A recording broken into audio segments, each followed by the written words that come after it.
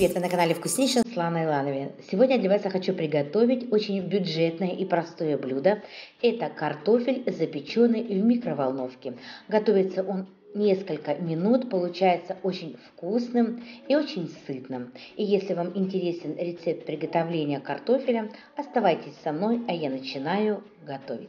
Итак, я беру картофель, мою и при помощи овощечистки его очищаю.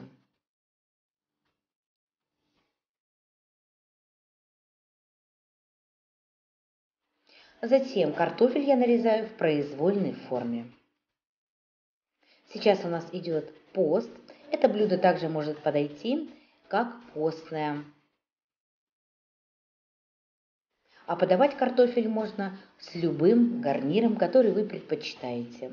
Далее картофель я посыпаю солью, посыпаю травами, у меня кавказские травы, и приправа для картофеля. Вливаю одну столовую ложку растительного масла и все перемешиваю.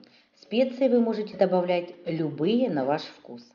Далее я беру пакет для запекания. Также здесь можно использовать обычный пакет. И все в пакете еще раз перемешаю. Далее я добавляю сюда чеснок. У меня гранулированный чеснок. Чеснок придает очень вкусную пикантную нотку. Перемешиваю.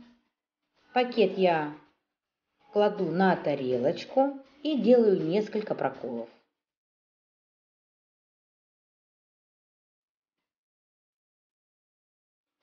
Затем я тарелку с пакетом ставлю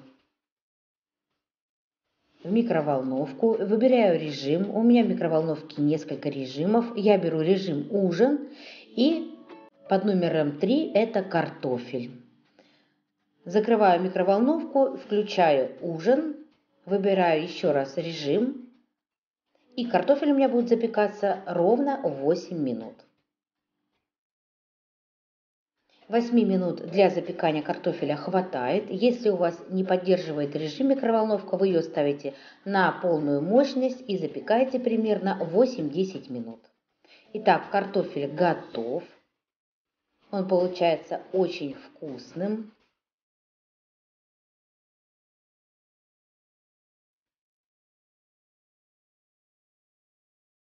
Перекладываю картофель из пакета в тарелку.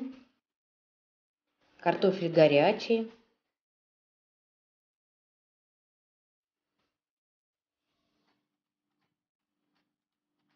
Вот такой мягкий вкусный картофель у меня получается. Сверху я посыпаю зеленью. Я предпочитаю зелень укропа и петрушки. Подавать картофель можно с любым гарниром. Это может быть салат, может быть мясо, и, либо любые, любые овощи, которые вы предпочитаете. Я картофель буду подавать с корейской капустой и морковью. И вот такое вкусное блюдо у меня получилось всего лишь за несколько минут. И если вам интересен мой рецепт, ставьте лайки. Если не понравился рецепт, ставьте дизлайки, а также подписывайтесь на канал, чтобы не пропустить новые интересные видео. А также заходите в нашу группу, делитесь вкусными, интересными рецептами. Всего вам хорошего, готовьте с любовью. Всем пока!